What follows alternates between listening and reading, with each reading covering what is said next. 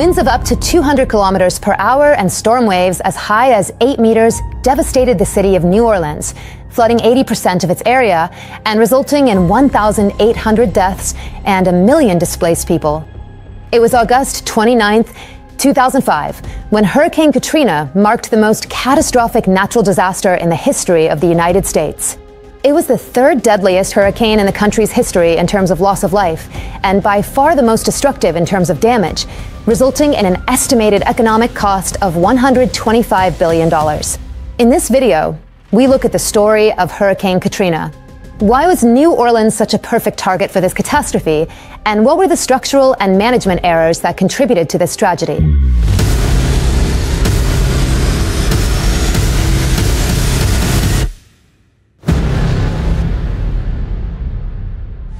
Like many hurricanes, Katrina began as a tropical depression. That is, an area of low pressure with winds up to 63 kilometers per hour, which then evolved into a tropical storm, officially receiving the name Katrina off the coast of the Bahamas. Just two hours before making landfall at the tip of Florida, Katrina intensified into a Category 1 hurricane. Up to this point, it didn't seem like a particularly worrisome phenomenon. The worst came once it entered the Gulf of Mexico. It was here that the hurricane grew to a Category 5, the highest value on the Saffir-Simpson scale, which measures hurricane intensity. Category 5 means a hurricane with winds over 252 kilometers per hour, and in fact, Katrina reached a peak of 278. And this happened right over the waters of the Gulf of Mexico because warm waters, like those in the Gulf, you could say act as fuel for a hurricane's engine. We've made a dedicated video on how hurricanes form and develop, so check it out if you missed it. Anyway, as the hurricane moved up the Gulf, it then dropped to Category 3, precisely because in the northern part of the Gulf the waters are colder and provide less energy to fuel the hurricane. And that's how it made landfall on August 29th on the coasts of Louisiana and Mississippi, with winds up to 205 kilometers per hour.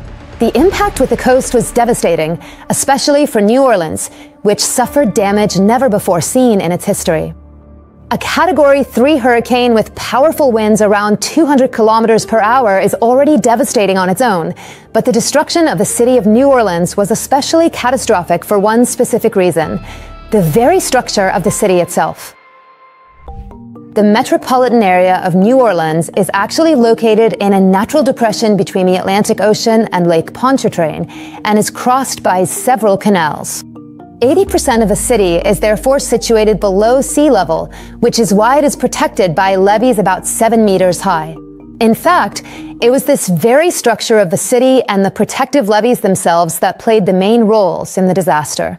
That's because the damage from Hurricane Katrina didn't come directly from the hurricane's winds, but rather from the rising sea level.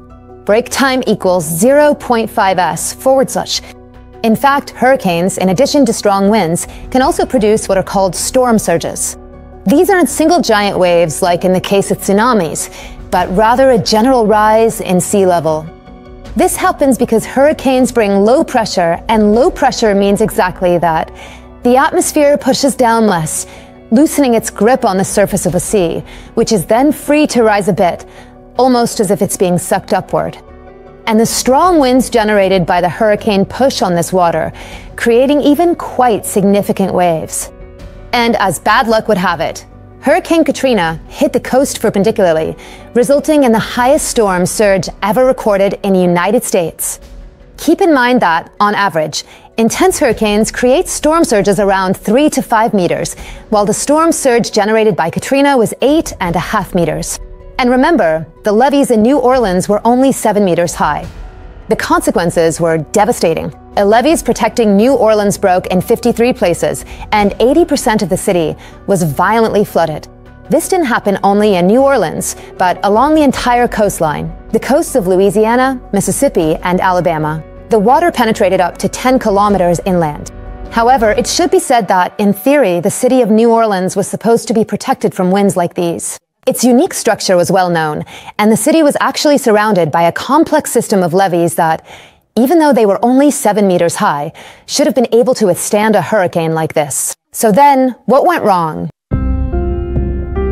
In theory, the levees in New Orleans were designed to withstand a storm surge from a Category 3 hurricane like Katrina. But that wasn't the case, and investigations revealed that there were several mistakes, both in the assessment and in the construction of the levees themselves. First of all, how were these levees built? The basic element is the levee itself, which is essentially a mound of earth with a very wide base so that it stays firmly in place even when faced with very high waves. In some of these significant mounds, walls were carefully installed that could be I-shaped, meaning they were perfectly vertical or T-shaped with a substantial horizontal element supported by sturdy legs. Now, what exactly happened then? There were two main pressing problems. The first was that there wasn't an accurate assessment of the porosity and compactness of the soil beneath the levees. Basically, water managed to seep under the levees, and it wasn't taken into account that it could also seep between the earth of the levees and the walls themselves. The result? The water manages to pass underneath the levees, the soil, and the levees themselves get eroded. The walls are no longer stable, and they collapse. Then there's the fact that the levees, which remember were seven meters high, were actually lower than the storm surge, which reached up to eight and a half meters, so some of the water managed to get over the walls.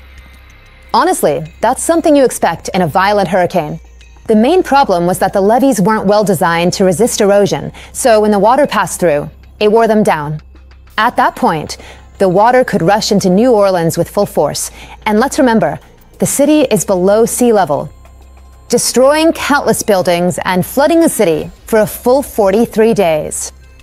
The city was equipped with water drainage pumps precisely because of its geography, but they were designed to handle flooding caused by rainfall.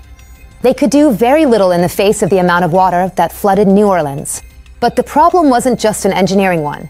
At first, the emergency was underestimated. The importance of evacuating quickly was completely underestimated. On August 26th, three days before the tragedy, Louisiana Governor Kathleen Blanco declared a state of emergency, and the next day, August 27th, residents were advised to evacuate the at risk areas. Advised, not ordered. The actual order to leave the city was only issued on August 28th, the day before Katrina arrived. But for many people, by then it was too late. Those who didn't have a car couldn't leave the city, and attempts to quickly organize an evacuation service by bus failed. 1.2 million people evacuated, but about 100,000 still remained in the city, and 1,200 died in New Orleans, mostly by drowning. That's about two thirds of the total hurricane victims. For the survivors, a shelter was set up in the Superdome, the city's football stadium. But its management was also flawed. It was overcrowded, poorly equipped, with bathrooms and air conditioning that stopped working. The city needed help from the outside, but that too arrived late.